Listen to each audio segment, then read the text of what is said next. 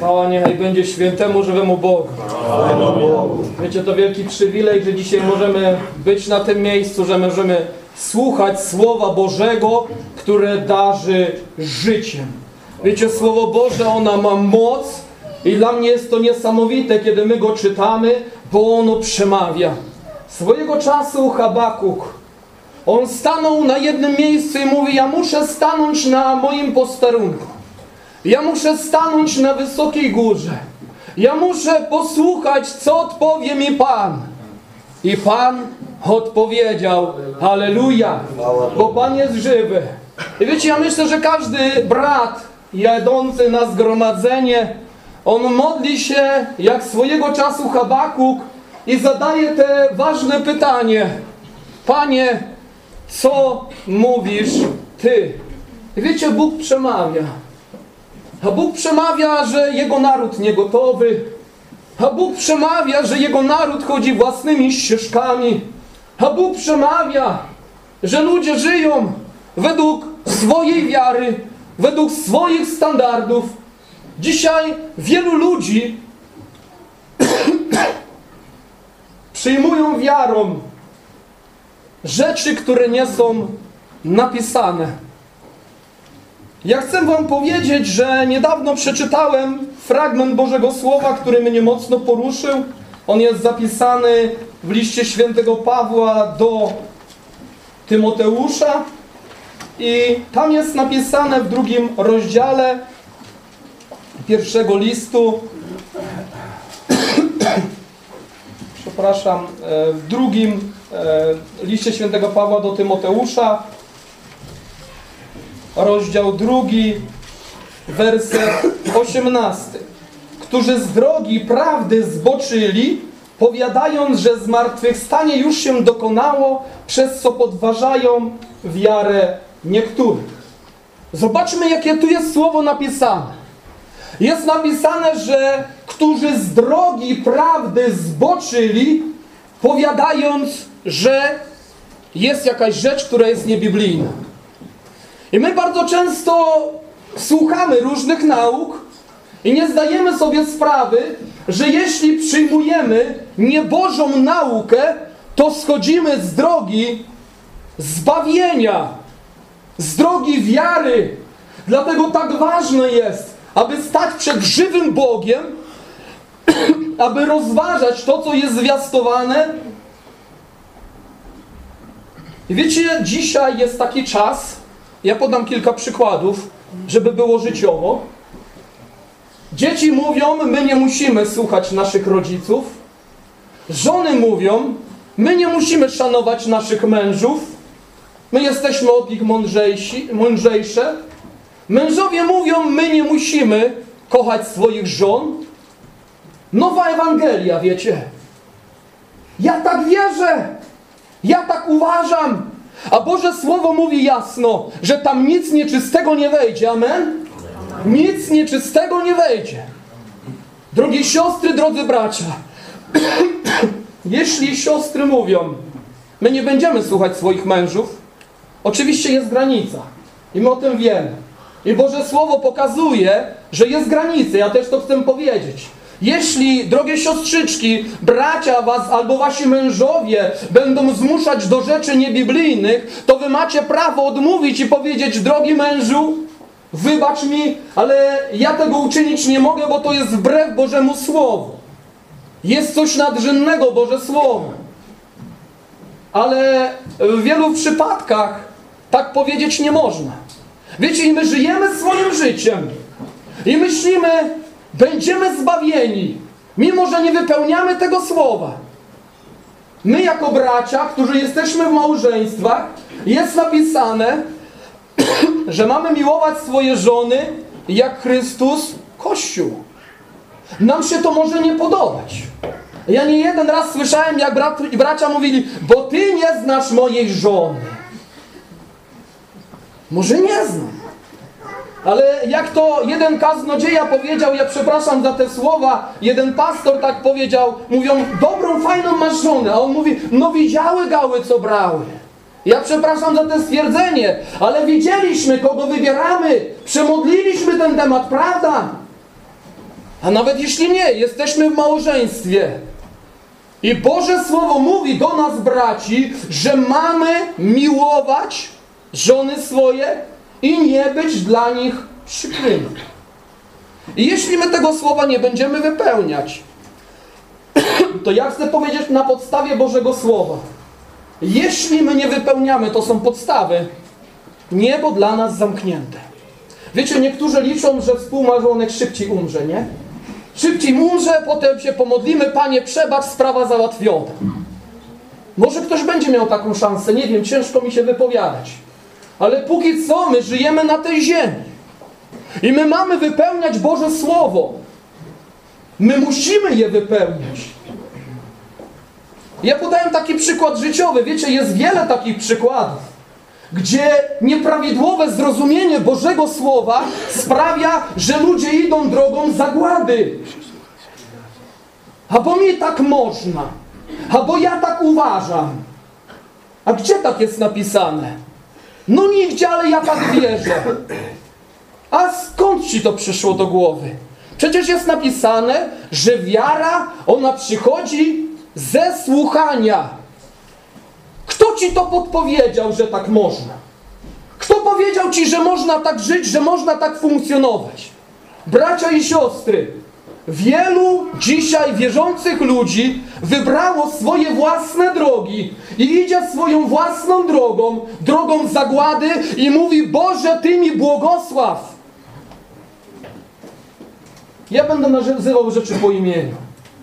Wśród ludzi wierzących są takie sytuacje, że wierzący biorą sobie za męża, za żonę niewierzących współmałżonków. I później w zborach mówią, pomódlcie się, aby nas Bóg błogosławił. Was Bóg błogosławić nie będzie, dlatego że wy dokonaliście wyboru i Boże Słowo mówi, bracia i siostry, ja mówię to, co jest napisane. Jest napisane, że wierzący ludzie mają sobie brać wierzących współmałżonków. Amen? Tak jest napisane? Amen. I Boże Słowo mówi, jeśli my wypełniamy Boże Słowo, to co? My jesteśmy błogosławieni. I jeśli człowiek sam, ja użyję tego słowa, sam świadomie wybiera przekleństwo, nie błogosławieństwo, a potem mówi, no już stało się, no to już nieś. Bracia i siostry, ja wiem, że nieraz jest ciężko, ale nieraz jest ciężko dlatego, że to my wybraliśmy taką drogę. Że to my zadecydowaliśmy. I często żal do Boga. Boże, dlaczego mi tak ciężko? A Bóg mówi, to Ty wybrałeś. To Ty mnie nie pytałeś. To Ty wybrałeś tą drogę. Ja nie mówię, żeby kogoś oskarżać. Ale ja chcę pokazać, jak dzisiaj wyglądają modlitwy.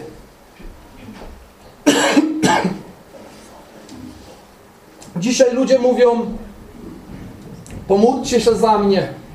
Ja potrzebuję modlitwy. Dzisiaj ludzie mówią, ja nie odczuwam obecności Bożej. I modlą się, Ojcze nasz, który jesteś w niebie. I wiecie, dochodzą do tego momentu, gdzie jest napisane i przebacz nam winy nasze, jak my i my odpuszczamy winowajcom naszym, a winowajcom nie odpuszczamy. I mało tego mówią, bo On wobec mnie zawinił. No jakbyś Ty był sam winny, no to nie ma co się obrażać. Ale Boże Słowo mówi, Odpuść nam. Tak, i my zawiniliśmy przeciwko Bogu. I On nam odpuści, jeśli my odpuścimy. Tak jest napisane. To są zasady duchowego życia. Ale ja bym chciał przejść do tego, co miałem na sercu, czym jeszcze miałem się dzielić i czym brat Krzysztof już częściowo się podzielił. I wiecie, jak tylko zaczął czytać, ja sobie myślę, a co ja później będę mówił. Ale dzięki Bogu on przeczytał ten fragment i ja go jeszcze raz przeczytam. Ja chciałbym, żebyśmy poważnie do tego podeszli, bracia i siostry. Dlatego, że Słowo Boże, one ma moc. I wiara, ona przychodzi ze słuchania. I kiedy człowiek słucha Bożego Słowa, kiedy słucha Boga, to jego wiara wzrasta. I wiecie, kiedy przychodzą pociski złego, a one obowiązkowo przychodzą, to my je możemy ugasić. Wiara przyszła. Ewangelia Jana, ósmy rozdział. 34 werset i dalej. To było czytane. Jezus im odpowiedział: Zaprawdę, zaprawdę powiadam wam, każdy, wiecie, ja już w kilku miejscach na ten temat mówię, nieraz z Boże u siebie mówię, ale to jest bardzo ważne słowo, które jest prawdziwe i my je pomijamy. My myślimy, jakoś to będzie. Przyjdzie do końca moich dni i jakoś to będzie. A tu jest napisane bardzo wyraźnie: Zaprawdę, zaprawdę powiadam wam, każdy, kto grzeszy, jest niewolnikiem grzechu. Każdy, kto grzeszy, jest niewolnikiem grzechu. Nieważne, czy się nazywa chrześcijaninem, czy się nie nazywa chrześcijaninem, każdy, kto grzeszy, jest niewolnikiem grzechu. A niewolnik nie pozostaje w domu na zawsze, lecz syn pozostaje na zawsze. Jeśli więc syn was wyswobodzi, prawdziwie wolnymi będziecie. Wiecie, są to słowa prawdziwej Ewangelii. Dzisiaj wielu ludzi mówi, my grzeszymy. I Boże Słowo dopuszcza taką sytuację, że gdzieś nie popilnuje, mówi, a jeśli by się już zdarzyło. Wiecie, i Boże Słowo nie przekreśla człowieka, że on zgrzeszył, Bóg jest miłością i On chce zbawić każdego człowieka. Ale Boże Słowo też podkreśla i pokazuje, jaki powinien być stan wierzących ludzi. On przyszedł, aby jeńców wypuścić na wolność, jeńców grzechu. Jest napisane, On przyszedł, aby zbawić lud swój, znaczy nas, od grzechów ich. Znaczy nas od grzechów naszych.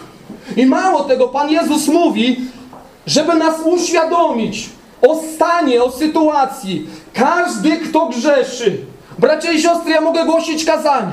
Ja mogę mieć jakieś funkcje, jakieś dary, ale Boże Słowo mówi, każdy, kto grzeszy, Marcin, jeśli ty grzeszysz, ty jesteś niewolnikiem.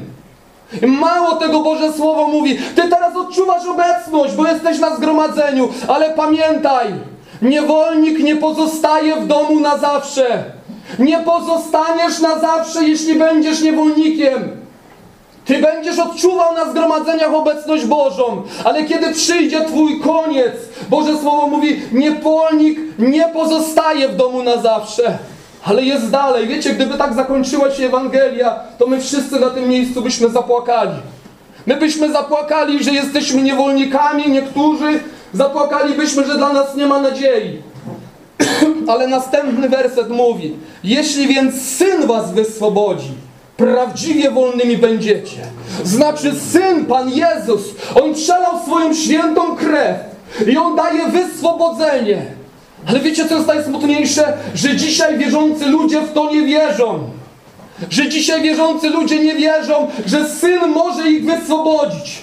Przychodzi wróg i On przemawia i mówi upadłeś, upadłaś, jeszcze raz, jeszcze raz, tak już musi być. Musisz być niewolnikiem.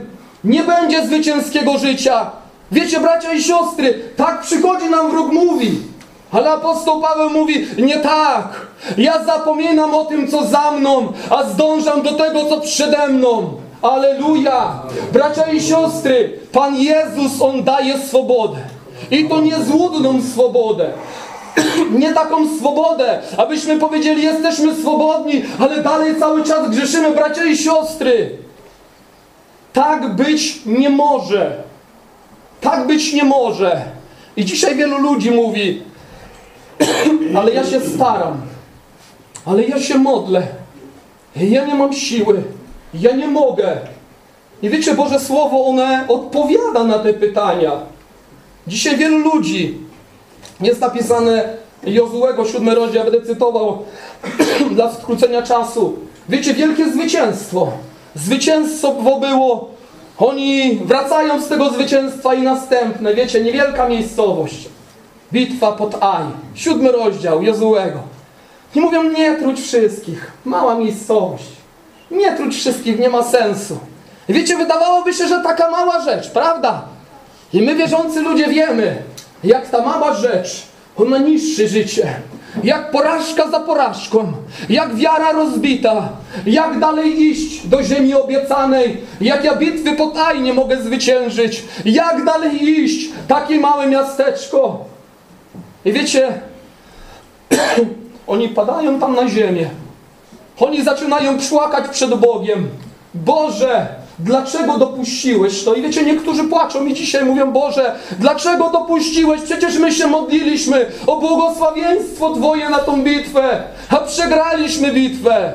I wiecie, Bóg odpowiada. I Bóg odpowiada, macie to, co jest pod przekleństwem. Macie to, co jest pod przekleństwem. I on odpowiada dalej mówi, ja nie będę z wami. Wy będziecie dawać tyły swoim wrogom. Dopóki to, co jest pod przekleństwem, nie będzie usunięte. Wiecie, tam są trzy rzeczy wymienione. My wiemy, że to zrobił Achan. I on miał to, co było pod przekleństwem. Niektórzy ludzie czekają i mówią, a, na razie nikt nie wie, co mam schowane w namiocie moim. Na razie wierzący ludzie nie wiedzą, naród Boży nie wie. Ja pod namiotem schowałem, nikt tego nie widzi. A jak się będziesz czuł, kiedy przyjdzie czas i będą padać losy? Ród za rodem, rodzina za rodziną i będzie zbliżać się do Ciebie. Drodzy, to jest bardzo poważne. On miał schowane srebro, złoto. Z jednej strony można powiedzieć srebro, złoto, co w tym złego? I w dzisiejszych czasach, prawda? Zresztą naród izraelski miał prawo mieć srebro i złoto. Oni mieli prawo się wzbogacać. Ale były miejsca, gdzie Bóg mówił: Oto srebro i złoto, które możecie brać. Ale było srebro i złoto, które było przeklęte, którego brać nie można było, bo było przeklęte. I wiecie, dzisiaj wielu bierze to, co przeklęte, tego, czego brać nie mogą. To srebro i złoto. Nawet niektórzy mówią, ale my na dzieło Pana dajemy. Jeśli bierzemy to, co pod przekleństwem, Bóg mówi, będziecie dawać tyły swoim wrogom. Nie będziecie zwyciężać. Mało tego. Okazuje się, ja nie wiem jakim cudem, ale tam się znalazł płaszcz babiloński. Se myślę, skąd w Jerychu płaszcz babiloński? Wiecie, ja już zastanawiałem, jak on się tam mógł dostać. No dostał się. No dostał się. I okazuje się, że ten Achan zabrał sobie płaszcz babiloński. I tak ja zastanawiałem się, są różne płaszcze w Biblii opisane. Był płaszcz Eliasza. Ja taki płaszcz chciałbym mieć. Wiecie, to było niesamowite, kiedyś się zsunął z Eliasza i Elizeusz się go ubiera. On bierze, wychodzi potem o ziemię, czy Bóg Eliasza tutaj jest? I okazało się, woda się rozstępuje. Bóg Eliasza, aleluja. Boże Słowo mówi o białych szatach, w których my powinniśmy chodzić. Ale są szaty, w których my jako wierzący ludzie nie powinniśmy chodzić. My nie możemy w nich chodzić, bo one są przeklęte. Jest psalm 137, który mówi nad rzekami Babilonu. Tam siedzieliśmy i płakaliśmy na wspomnienie Syjonu. Na wierzbach w tamtej krainie zawieszyliśmy lutnie nasze, bo tam żądali od nas słów pieśni ci, którzy nas wzięli w niewolę. A ci mężcy nasi radości, śpiewajcie nam jakąś pieśń Syjonu. Jakże mamy śpiewać pieśń Pana na obcej ziemi? Zobaczcie, obca ziemia, Babilon, nieczysta ziemia, ale ktoś bierze te szaty, aby wyglądać jak ten świat. Ja mówię o stylu życia, aby być tak jak ten świat. Ale wiecie, ale przed zborem, przed narodem izraelskim, przed narodem wybranym, ono zakopana. O, nie chodzi się w takich szatach między narodem Bożym. Ale jakby narodu Bożego nie było, to przecież szaty nie ma się po to, żeby była schowana, ale po to, żeby w niej chodzić, prawda? Ale Bóg to wszystko widzi. On widzi. Wiecie, i my staramy się i mówimy, szata babilońska, ja chcę być jak w tym Babilonie. Ja chcę tak wyglądać. Wiecie, ja byłem na wielu lotniskach, może nie tak wielu, ale byłem na kilkunastu może lotniskach. I ja nigdy nie zapomnę, jak byłem w Anglii i patrzyłem, ja wiedziałem, kiedy wychodzą Polacy. Wiecie, to było, to było takie oczywiste. Ja nie wiem jak teraz, ale wtedy zawsze, wiecie, ten specyficzny ubiór, styl chodzenia, wiecie, to, to było widoczne. Plecaczek na plecach, no standard. Ja wiedziałem, kiedy polski samolot przyleciał. Ja widziałem to Polacy, wiecie, tego nie można było ukryć, nawet po stylu chodzenia, po stylu ubioru. I okazuje się, że każdy kraj ma swój styl. My nie jesteśmy z tego świata, mówi Boże Słowo. Wy jesteście tylko przychodniami na tej ziemi, pamiętajcie o tym. Tam jest wasza ojczyzna. I wiecie, Boże Słowo mówi, ale znaleźliśmy się, naród Boży w jakiś sposób znalazł się nad rzekami Babilonu. Może gdzieś płaszcz babiloński znalazł. I tam zaprowadził go do tego Babilonu. I wiecie, tam mówią, zaśpiewaj mi jakąś pieśń Syjonu. Może ktoś nam dzisiaj mówi takie słowa, powiedz mi o żywym Bogu. Powiedz mi, co robi w Twoim życiu Bóg. Zaśpiewaj mi pieśń Syjonu. A my ze smutkiem opuszczamy głowę i mówimy, jakże mam śpiewać pieśń Syjonu na obcej ziemi. Jakże mam zaśpiewać, jak ja już dawno nie odczuwam Boga. Jakże mam od, od zaśpiewać, jak już jestem tak dalo, daleko Jeruzalem. Jakże mam zaśpiewać.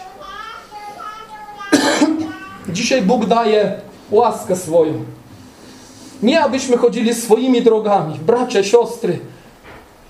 Oto nasz czas się przybliża. Śpiewaliśmy na początku tego zgromadzenia. Ostatni zew jeszcze rozlega się wciąż.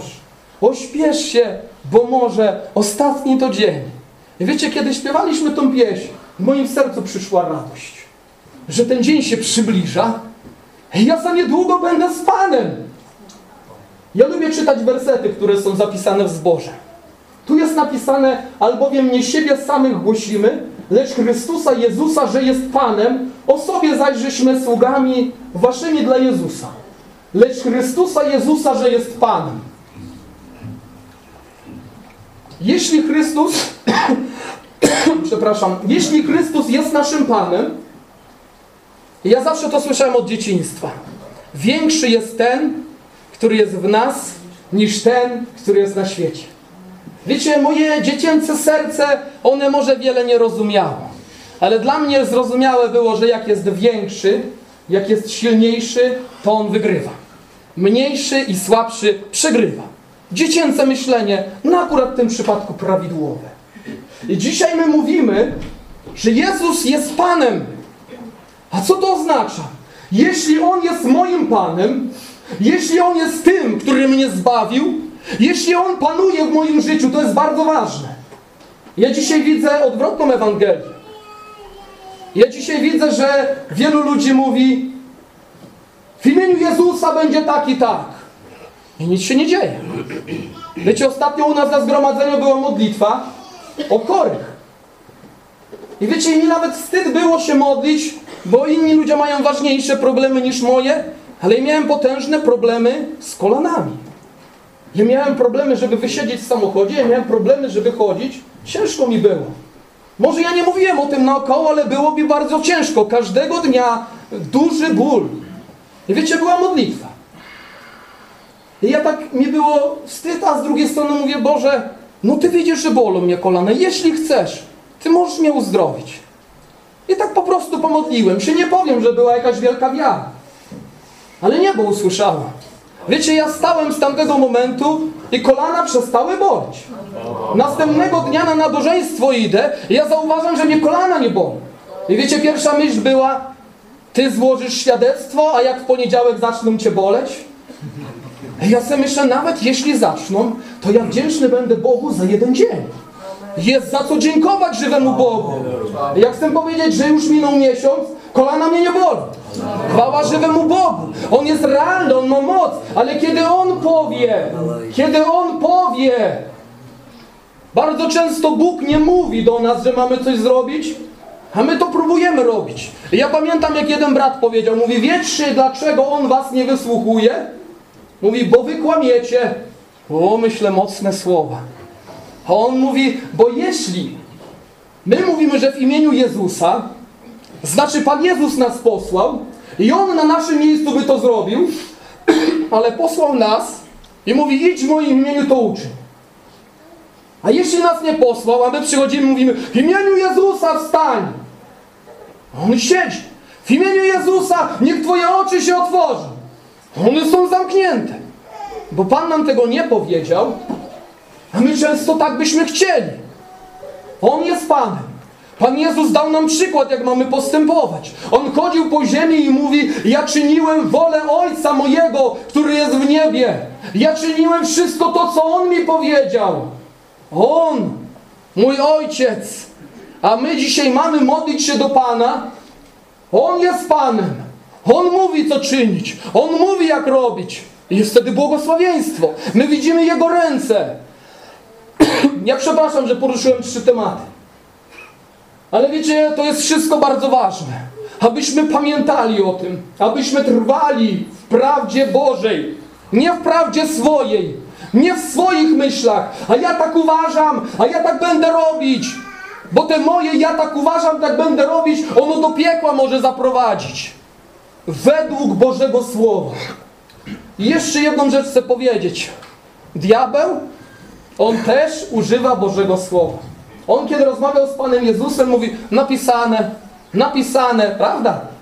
I wiecie, czasami my pozwalamy sobie na tyle, aby swoje nieczyste zachowania usprawiedliwiać i znajdziemy werset, który nas usprawiedliwi obowiązkowo. Ja osobiście znalazłem werset, gdzie jest napisane, że nie ma Boga. Jest taki werset w Biblii. Ja go czytałem. Ja go mogę wyrwać z kontekstu. Prawda, przed tym jest napisane, że głupi rzekł w sercu swoim, że nie ma Boga. Ale jest tak napisane. I dzisiaj wielu wyciąga z kontekstu jakiś werset, aby potwierdzić swoje grzeszne postępowanie, swoją własną drogę. A tak być nie powinno. Bracia i siostry, słuchajmy Bożego Słowa, słuchajmy Chrystusa i będziemy żyć wiecznie z Nim. Będziemy z radością, nie będziemy bać się, że przybliża się nasz dzień. Dzisiaj wielu ludzi mówi, jak chcę uwielbiać Pana. Prawda, my chcielibyśmy. Chyba nie ma osoby na tym miejscu, która dzisiaj na tym miejscu powiedziała, a ja nie chcę uwielbić Pana. Ale często nie zastanawiamy się, co znaczy uwielbić Pana i co mówi Boże Słowo. Pan Jezus mówi do Piotra. Piotrze, przyjdzie taki czas, że poprowadzą cię tam, gdzie nie chcesz. I tam jest napisane, a to mówiąc, powiedział jemu, jaką śmiercią uwielbi Pana. Jaką śmiercią uwielbi Pana. Zobaczcie, można uwielbiać Pana nawet swoją śmiercią. Niesamowite, nam można żyć tu na ziemi, wielbić Boga swoim życiem i nawet śmierć, aby przyniosła uwielbienie dla Boga. Wiecie, ja chcę, aby moje serce takie było. Aby moje serce naprawdę chciało wypełniać we wszystkim Bożą wolę. Apostoł Paweł i Syla dostają baty. Oni strasznie cierpią. Oni dziękują Bogu, że zostali uznani za godnych, że mogli cierpieć dla imienia Bożego. Bracia i siostry, ja chciałbym, abyśmy razem się pomodlili. Abyśmy mieli dobre poznanie Bożego Słowa. Wiecie, u nas na zgromadzeniu, ja dlaczego też o tym mówię? U nas na zjazdowym nabożeństwie przez brata Samuela było Słowo i wielu z nas nie zwróciło na to uwagi. I było powiedziane, że będą wiały różne wiatry różnej nauki. I my często zastanawiamy się, a tak Bóg Duchem Świętym powiedział, to powiedział. To jest ostrzeżenie, które mówi, będą wiały. Jak Bóg powiedział, że będą wiały, znaczy one będą wiały.